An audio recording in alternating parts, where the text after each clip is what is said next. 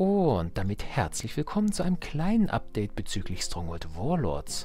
Ja, das Spiel wurde verschoben vom 26. Januar, der ebenfalls schon verschobener Termin war, auf den 9. März 2021, also von jetzt an so ziemlich genau in zwei Monaten.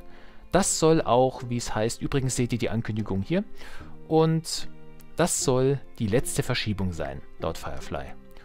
Und als Begründung wurde angegeben, dass der Multiplayer noch nicht ganz fertig ist. Mein erster Gedanke beim Lesen war so, Mensch, dann release doch die Kampagne jetzt schon und die Skirmishes und macht den Multiplayer erst später. Und während ich weitergelesen habe, ist mir aufgefallen, okay, ähm, das haben sie selbst angesprochen. Sie haben mit dem Gedanken gespielt, aber sich dann doch entschlossen, alles auf einmal zu releasen, weil sie das auch ursprünglich versprochen hatten. Ja, kurz und knapp, das war's. Äh, das war's mit der Info.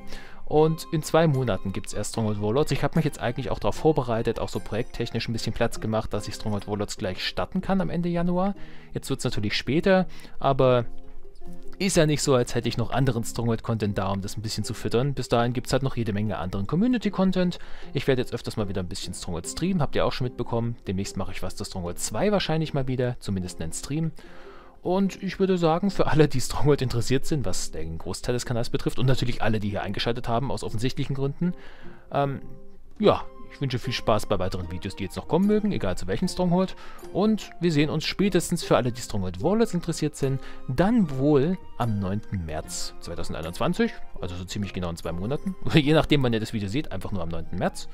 Und ja, bis dahin. Bye bye.